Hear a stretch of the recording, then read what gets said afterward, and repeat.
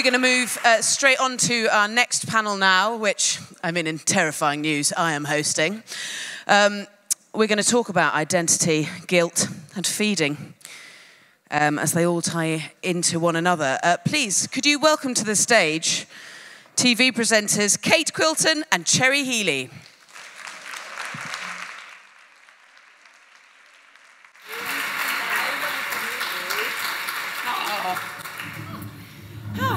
Here we are.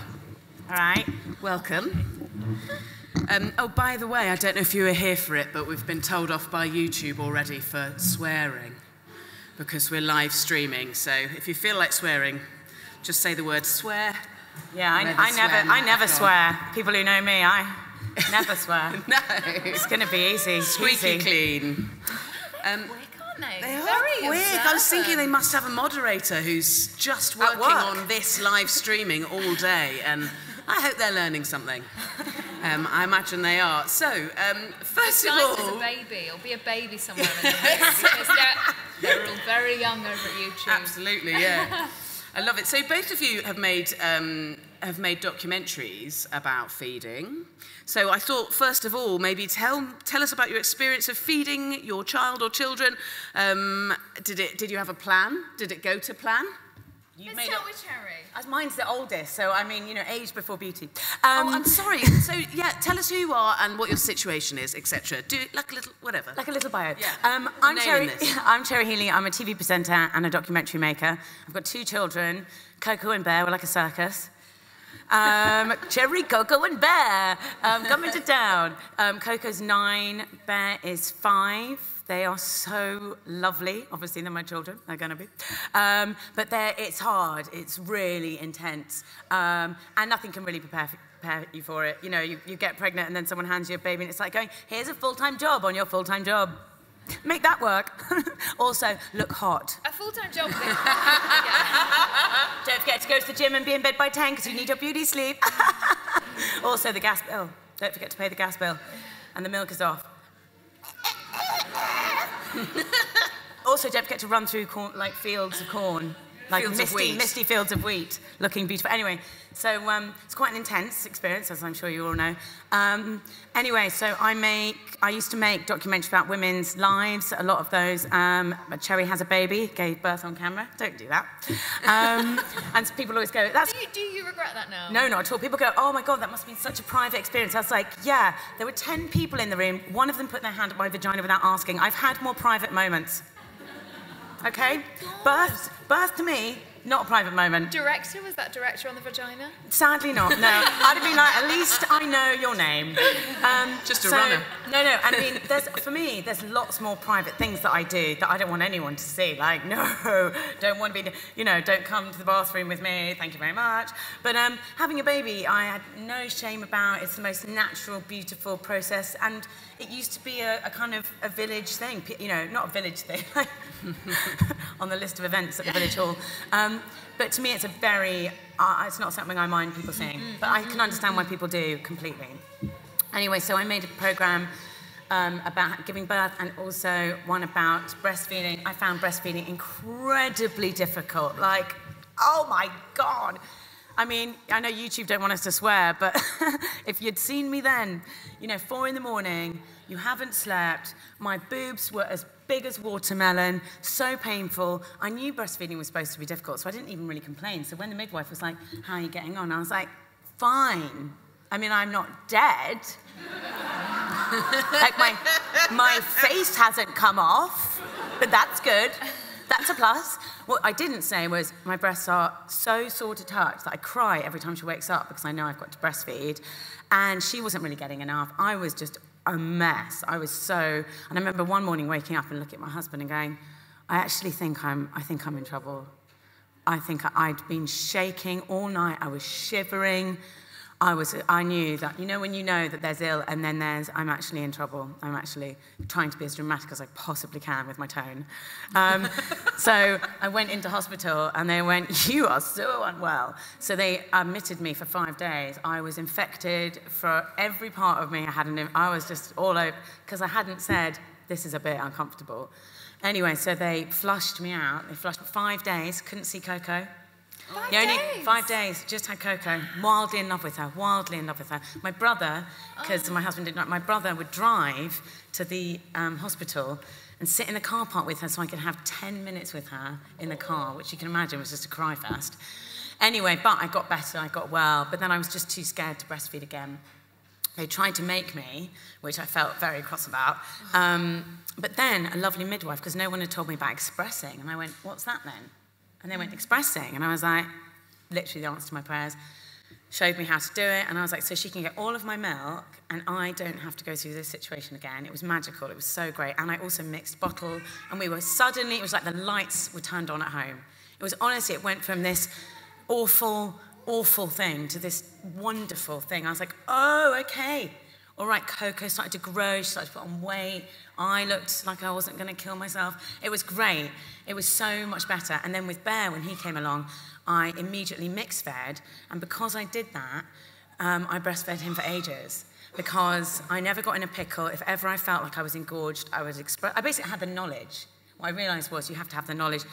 And then when I went back to work, I expressed loads, which has its own special nightmare attached to it. Um, and you know, you're, you're breastfeeding in, in the toilets, and somebody's done a great big poo and smells like farts, and, um, and there's wee all over the floor. It's wonderful, magical time. magical time.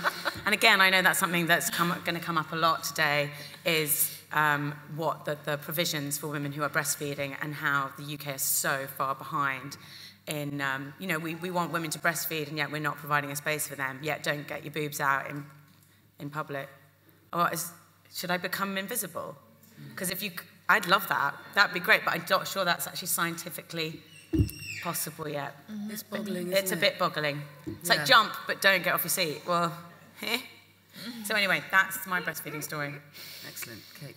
Ah, so uh, my boobs are still fully in action because I, I have a little babe. Bless him. He is just eight months old. Um, and uh, yeah, should I give a little biog, whatever? Yeah, Uh, I've worked in telly for years, done lots of different jobs, um, but uh, started off kind of in front of camera, then very much went behind, and now uh, present again and make a whole bunch of shows. I almost make pretty much all the shows that Cherry makes the BBC, I make on Channel She 4. makes them, but they're trendy. Come on, it's not fair. I'm trying. We're almost I like... watch them, I'm like, I wish I'd done that. Call up the director and like, look. Is this the first time you've met? Yes, it's That's really amazing. I feel like I want to talk to her for a thousand years because I'm like, oh my god, we do the same thing. We do. We basically live the same life. And I've been called Cherry twice today. That's so funny. My boyfriend always watches it and goes, she's kind of a bit like, you know, we grew up in the same place. We grew up in Bury St Edmunds. Crazy, crazy. Anyway. Um, uh, but I'm very much at a different point in terms of like motherhood journey. And so, yeah, um, a little babe, he's eight months old. He's right now with his dad, I think, just walking around the block. And it's, it's bloody hard. I mean, last night, for instance, I got three hours That lie word YouTube is in Harry Potter, so it's not actually a swear word. Boom. So. Is that allowed? I'd say Yes, that's It is, allowed. it is, it is. Keep streaming, YouTube, keep streaming. We'll rein it in, we'll rein it in. We're good girls. Okay, okay, right. Sorry, guys, sorry. I said vagina a lot, to be fair. They really hate that one. word. The That Americans hate that one. I won't use that word. but that happened. Oh, so um, right, moving on from vagina. Last night, as a case in point, uh, me and my vagina got um, got three hours of lie down sleep Oh. in two one and a half hour intervals, and that, I mean. So this morning it was funny. I got up and I was full of beans at about six o'clock this morning with my baby and my husband. I went downstairs and he's like, "Darling, I think you're on the brink of turning into a complete asshole. Please go back to bed."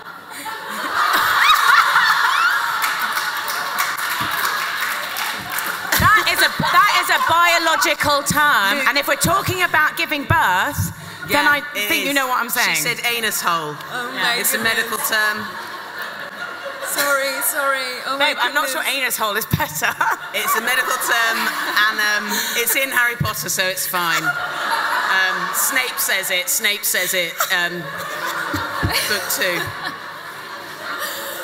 Oh, so my husband did swear at me this morning, and I said, "Yes, you are right. I take that thank you. I'm going to take these two hours and go back to sleep because I've got to come and talk at this thing, and I probably could do with a bit of sleep. Yeah. Um, but yeah, so that is that is the stage that we're at right now. Um, my little babe is up a lot. Um, I'm working.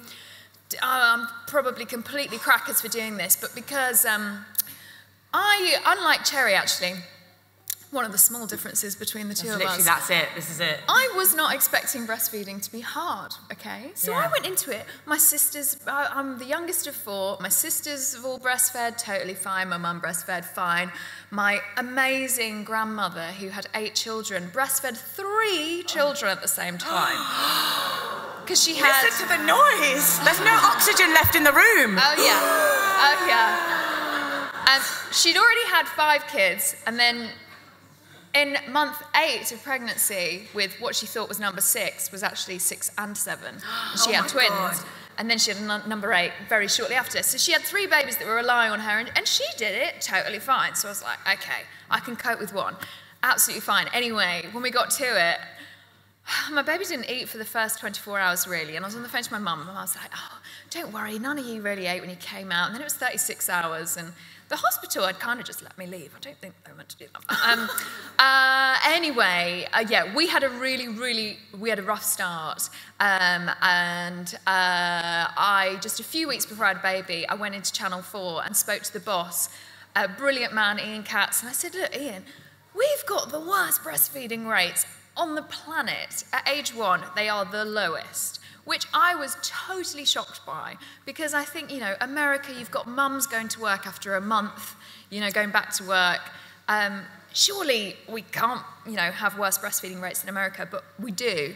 Um, and so I went to see him just to say, look, I just think we've got to normalise it. And in all these other programs that I make, when I'm talking to a farmer about cucumbers and my baby's on set, because that was always the plan that I'd return to work a bit, one or two days a week, and my baby and my husband or my mum would come with me. Um, husband slash mum. And um, anyway, I said, look, when I'm talking about cucumbers, can't I just have my baby latched on and just be breastfeeding? We've got to normalise it. You never see it on the telly, you never see it in movies, you never see it in you never see pictures anywhere of it, apart from on Instagram now, which is brilliant. But um, anyway, so that's kind of what we talked about. And he said, look, you know, we should actually make a whole documentary about this, which was brilliant. And so that therefore meant that I did go to work very early. Uh, I, was, I was back at work filming five weeks after my baby came along. And it was mental. And I look back and I think, oh my God, it was absolutely crackers. I wouldn't have done it for any other program or documentary or film, but it was just really important that we got this message out there. And, and luckily, it's still doing the do, and it's been shown at Parliament, and hopefully, some legislation is going to change, and there's going to be some finance plugged back into breastfeeding support. Because for me and my journey, I live in Tower Hamlets, which is the best place to live in the country when it comes to breastfeeding support. Bizarrely, uh, pretty much every um, every other place in the country had their funding cut in 2015, and Tower Hamlets have retained theirs. Um, and so I had an absolute angel of a breastfeeding support worker come to my flat three times in the first week. She was amazing. She was calling me up. She was a dear Irish dot of a lady saying, Darling, I think it, tonight treat yourself to a glass of wine. I was like, oh, I can drink wine, but I'm breastfeeding. She's like, you need a glass of wine. and um, I mean, how amazing. Someone from the NHS saying, drink a glass of wine when you're breastfeeding. So, yeah, so now I have an occasional tipple. But, it, yeah, it saved me and it saved me and my babe when we got to the point of, yeah, breastfeeding was established and now we're still doing it and he loves it so much we stay up all night doing it. And that is, um, uh, I wanted to, I mean, you've both touched on it already, but when it comes to then how you've, how you end up feeding once you're out of that initial complete chaos, and it is chaos, and it is so, I think it's really excellent that one of you, one of you like, this is going to be really hard, and the other was like, oh no, I was, I very naive. Um, but uh, yeah, I, I remember uh, it sometimes taking two hours to get my son to latch on, and my partner would know that it had worked because I'd go, like that. Um, but then the, they were like, it's fine, it's good, it's good, it's a relief. I remember one time struggling so much, and someone had bought me this tome, this breastfeeding Bible, and I thought, well, I'll have a look in there. And, um, and I, it just said, rest them on your front, and they'll just wriggle up and latch on by themselves. And I ripped it in half. Um, no offence, La Leche League. Um, uh, uh, but you've both touched on making however you've chosen to feed or however you've ended up feeding work, uh, work with going back to work. And I suppose, in a sense, we've all had that experience of being self employed. There's pressures that come with that. There's extra pressures, there's more extended hours expected of you to generalize when you're in, in, in employment. employment. Um, talk to me about your experience of um, making that work, working whilst with a baby, full stop, but with, especially with an angle on feeding. I was saying upstairs earlier, I was like, one of the things that really struck me early on in pregnancy was that at work you have to pretend, and this is not new, we've all seen an Instagram meme about this. Um, at work you have to pretend that you don't have a child, and when you're at home you have to pretend that you don't have a job, which is basically splitting you into and is so obviously going to cause a huge amount of upset and tension and difficulty with being a woman. I mean, it's just, it is not achievable. You cannot be constantly feeling guilty in, and expect to be happy. And actually, it's very difficult to find balance. And I always say that balance is like a tiny bird that sits in my hand. And I think everything feels balanced, and you know it's going to fly off at any moment. but you just, uh, don't breathe, don't sneeze, don't even look at it, because it's going. But you know, there are moments where you think, I'm at home, and. But the children change, schools change. So just when you think you've got it nailed, it changes. And to go back to breastfeeding, I, I, went back to work pretty early as well, but again, it was one a couple of days a week, and it felt really exciting to go back to work. And I took um, Coco with me, and then and then Bear, and um, I took our au pair, or I took uh, my mum with me. And it was really nice and it felt really lovely. And I know that that's, that's a real privilege of the job, is that it's flexible and it's amazing that you can take your baby with you and still, and still carry on. But I found breastfeeding nigh on impossible in that situation because you know, if you're filming in a field, well, you've got the car, but then it's freezing cold, but then you put the heating on, but by that time they need you back because you get a certain amount of, and there's only so much you can really ask of the crew. I felt so, I felt so guilty for putting that extra, that extra um, burden on them. I felt so bad. Sorry, that was very close. Um, I felt so bad about putting that extra burden on them. Um, but then I felt deeply guilty about not being able. I mean, it just go. I'm just going to feel cycle of guilt. Going to feel like I'm letting everyone down for the next 25 years. Um, so I think the facilities are a massive thing. That is a massive thing because actually, if there had been nearby cafes where I had been confident that there would be breastfeeding rooms available, then we could have we could have planned it. We could have organised that. We could have made that as part of the schedule. But that in those in those days, you know, five years ago, breastfeeding conversation was only just starting. Like it was it was only then that for women were first starting to go, no, hang on a minute. You want me to breastfeed, but there's no one, nowhere for me to breastfeed. Or you're saying it's not okay to just do it in a cafe. You know, it's not, it's, but it's, yeah. It feels like a, a, a, a several pronged movement is required, yes. isn't it? Lots this, and lots of things. Getting they, rid of this idea that it's a private thing, but yes. giving us the option of having it as a private thing. Yes, absolutely. But you know, it's perception. I mean, I would have, I'd love to see you do one of your shows, like that. I mean, that would bring the house down, don't you think? That would absolutely bring the house. No one, no presenter has ever done that. I mean, that is a brave thing to do. I, I, I, I couldn't but want doing, anything more. Doing feeding on camera at all. Is it possible? Is it paved the way for either you or whoever the next person is who's then doing the, the, the show that's nothing to do with breastfeeding, yes. but breastfeeds yeah. during it. Yes, that, that's what I mean. I mean. it's not always something you want to do whilst you're at work, but I think it would say something incredibly powerful. So when, we, when I made this documentary about breastfeeding, it was the Dispatches, which we're battling to get back onto All 4 right now. You will find it online soon again. Um, uh, my intention was, right, we're going to shoot this. It was a five day shoot. I was going to do one day a week, easy, husband will be there, be fine. Um, but I never thought, I never envisaged actually kind of interviewing and my baby breastfeeding. But at five weeks, bless him, I mean, he was still, he was, he was feeding for like probably 14 hours a day or something oh. crazy. And so, really, as it happened, day one, I'm like, okay, let's get rolling. And then my little baby was like, oh, I want some milk right now. So it was just like the, the only way to really do it was for me to pretty much shoot the lot with him latched on, which I didn't so think you, that was not I haven't the plan. seen it, so, oh, and I will of course watch it. So did you? You actually in the documentary you are breastfeeding while you're doing interviewing? Yeah. Oh my god! Yeah, yeah, yeah. That is amazing. Yeah, that is oh. amazing. Wow. Um, when you're in the groove, you're like, actually, actually at that early stage as well, I felt better. I felt calmer Yeah. and more focused on, you know, interviewing Sue Ashmore from UNICEF or whoever it was. Brilliant. I felt calmer and more and more centered if he Why? was actually on because my you weren't bosom. always thinking I should get back and I need to be somewhere else. Well, he was always in the same room with his dad. He was so quiet, a little bug at that time that, you know, you just sit with his dad in a hug and, and kind of just watch. But, you know, you feel that stretching of the umbilical cord, even if, you know, they're at the back of the room or even if they're kind of in the cupboard Yeah. round the corner at that early stage. always kind of trying to get home or Yeah, like, yeah, yeah, So I was just like very happy just to basically shoot the lot with him here. Um, uh, since going back, returning to the other programs I make, which aren't about breastfeeding, we haven't yet shot a scene when he's been feeding, but think we should. I mean, it's important. Come isn't on, it? I'm going to have a baby just so I can do it on factories. Tit for tat, my friend.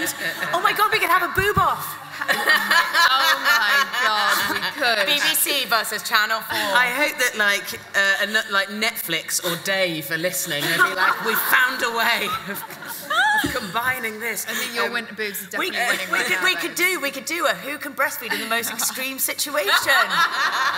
okay, now it's more kind of Channel Five. Fine. So I'm Um, very competitive. I, I, I took it. I took it somewhere.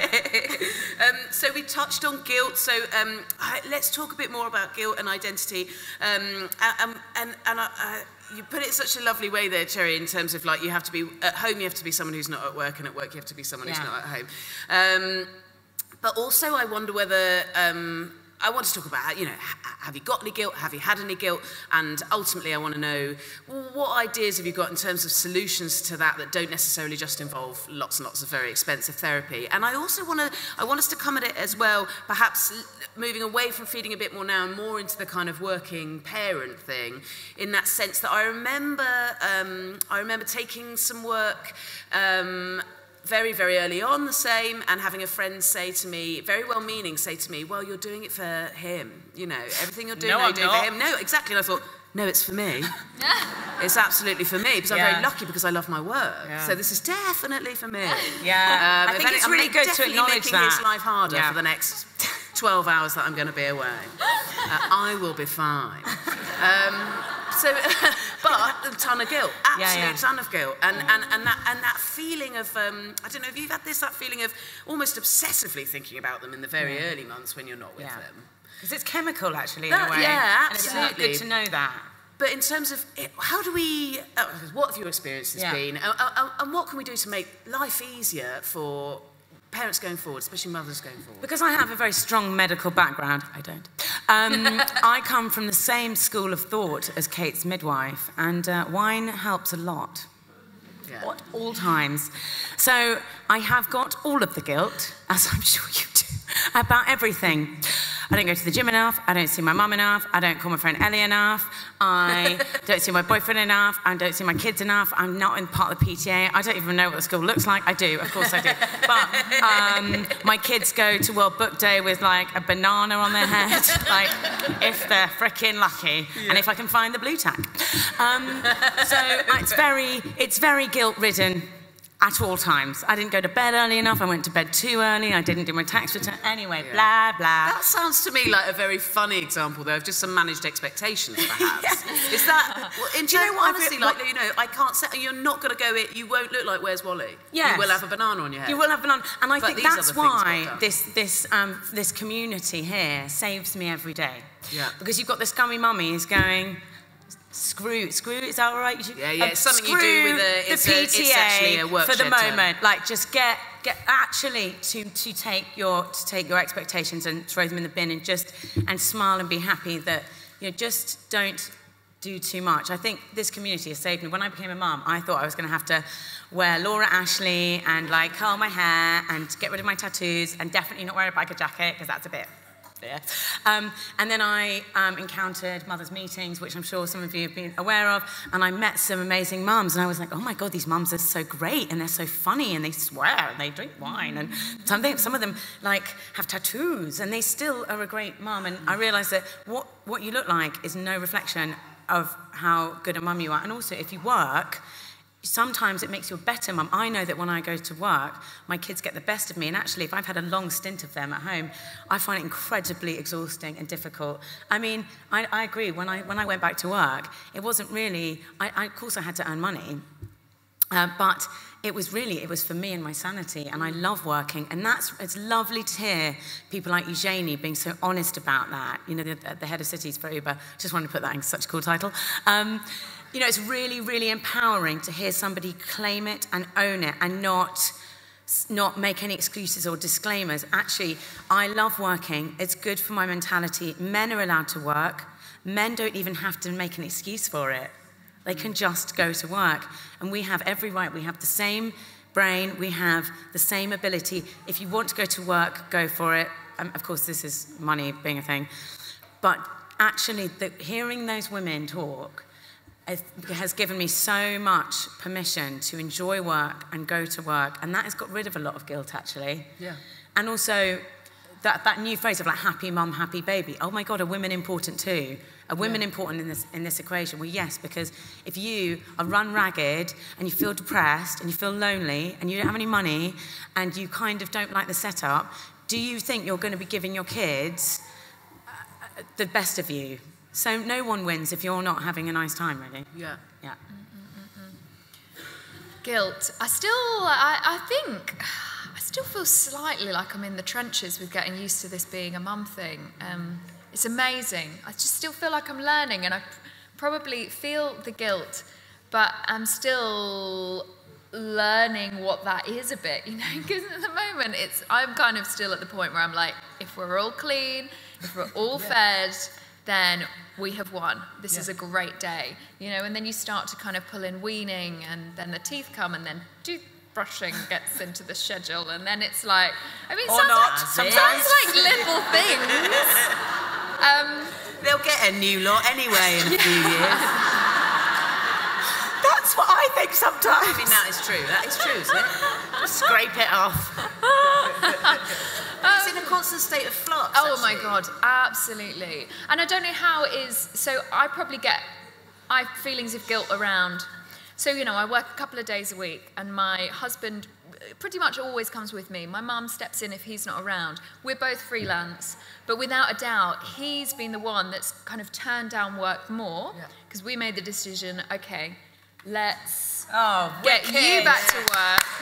oh. Um, because uh, my brilliant husband, he is, he, he's an actor and a writer. He is now in his 40s. He's like, darling, I've been acting professionally since I was 10. I can have a break. And he wants to have a break. He's like, there's actually nothing I'd be rather doing right now than changing this little bub's nappy. Um, so it's incredible that I have that support and we share it, but it's still, I think as well, you're getting into a groove of, oh my God, we're doing something that is a completely different shape. Yeah. Our families on both sides pretty much probably think it's a bit weird and it's a bit like, hold on, the man should be at work.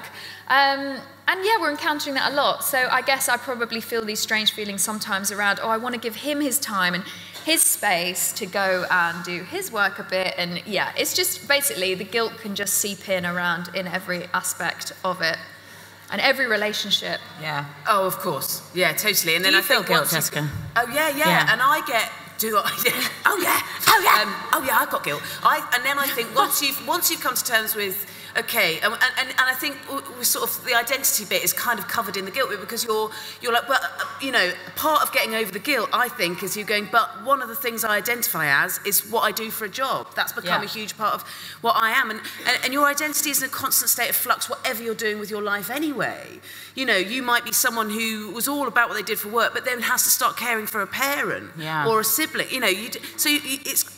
Do you think perhaps it, the guilt relaxes when you become a bit more fluid about what it is your identity yeah. is, and you're not trying to shoebox yourself into an expectation that you had. Yeah. I don't know, or if you're just happy to be in a constant state of flux. What, where I think another layer of guilt comes in is once you've accepted, okay, I'm not going to have guilt about my work as well as my parenting, then holidays because you need them too.